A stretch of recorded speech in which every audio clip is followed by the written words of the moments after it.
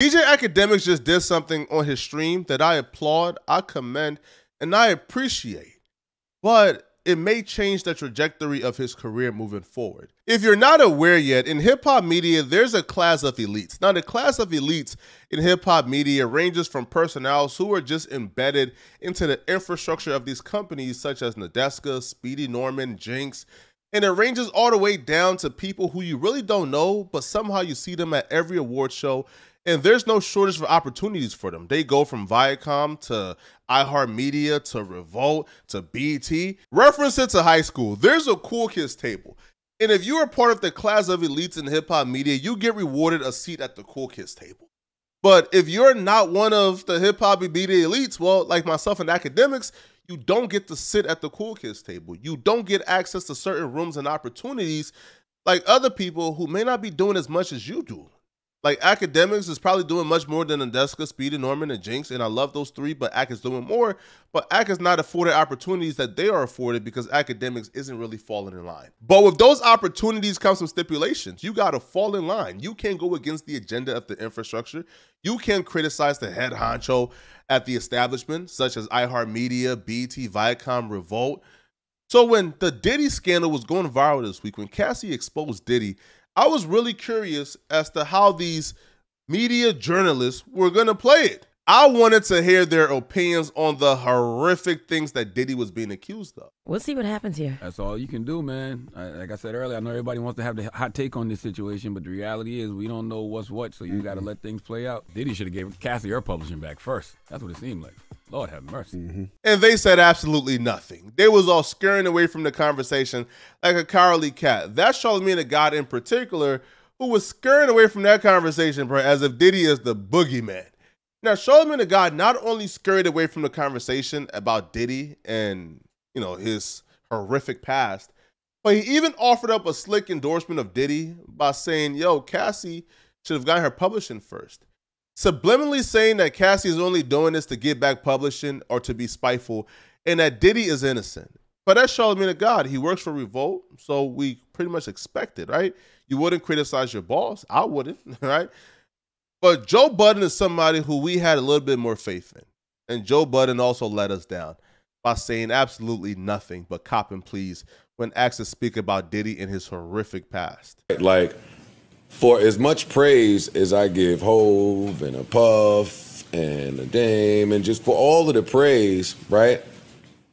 Again, back to podcasters keeping some of their thoughts private and just like not having to share everything. I don't feel like I need to come in here and have word vomit about my discernment when it comes to some of the evil shit that goes on in the industry.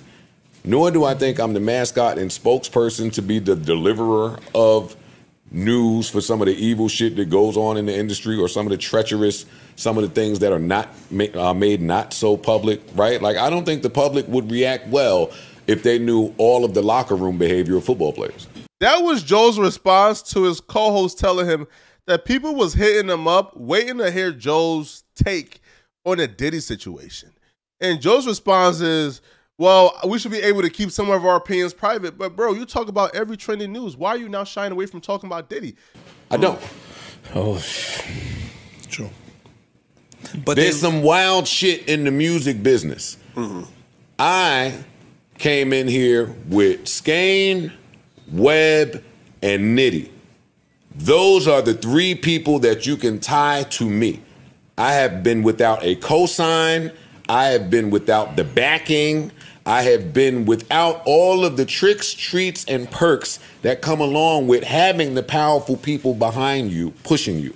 Why do y'all think that is? If any one of these two, Charlemagne the God or Joe Budden, was your source for reliable, unbiased information and takes, you should probably re-examine where you're getting your reliable, unbiased information from.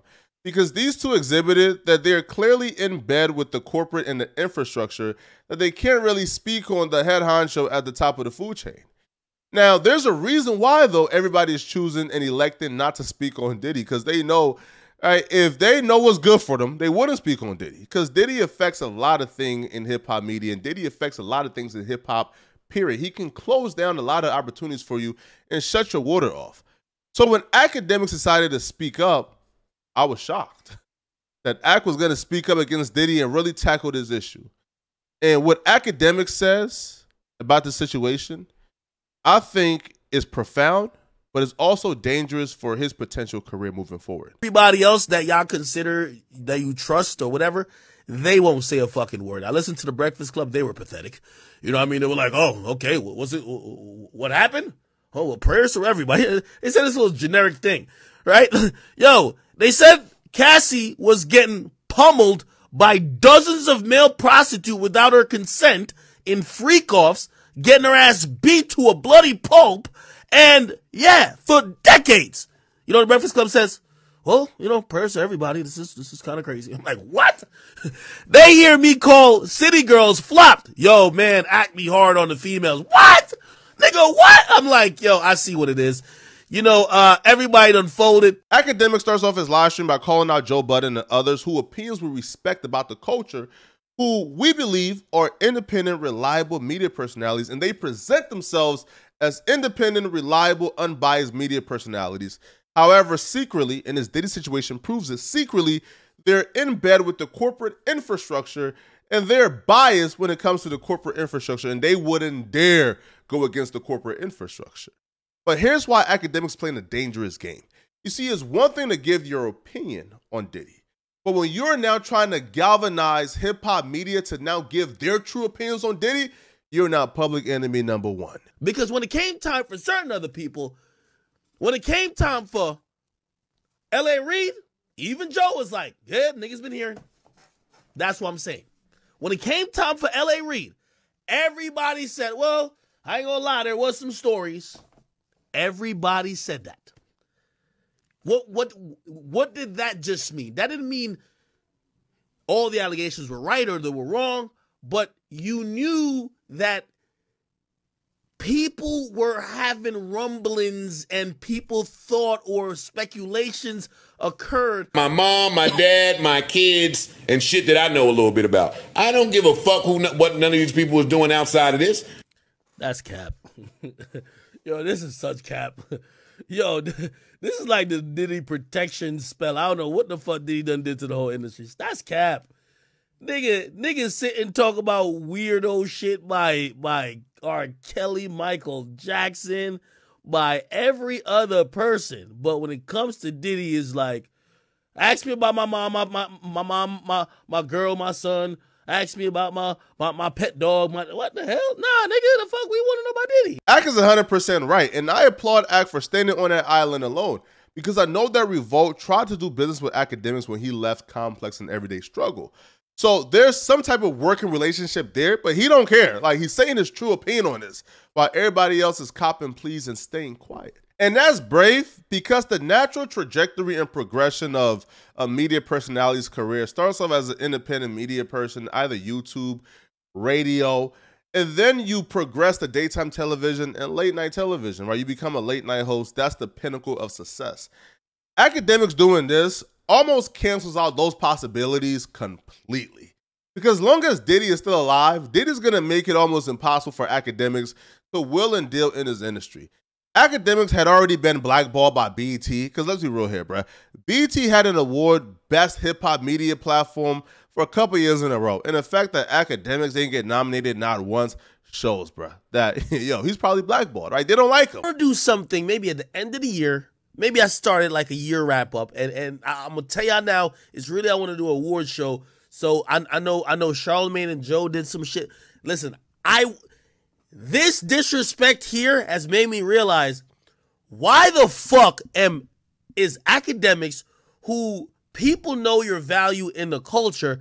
You're looking to BET, who's floundering and failing, to give you some props. As y'all just heard from Akademiks himself, he has expressed his frustrations in the past when it comes to BET and other corporations blackballing him and keeping him out. After what Akademiks said yesterday, listen, he, he might as well just get used to it, bruh. Because they finna make his life a living hell. But we applaud it. We stand by it. And, you know, I will 100% stand by Akademiks and do whatever I got to do to stand by the truth and stand by independent media. Y'all let me know in the comment section, what do you guys think? And if you're still watching, man, click on this video here somewhere on my screen to find out about the Nelly and Chingy beef that spilled over into the St. Louis streets. Click on this video here to find out what I'm talking about. Um, out of here, folks. Peace.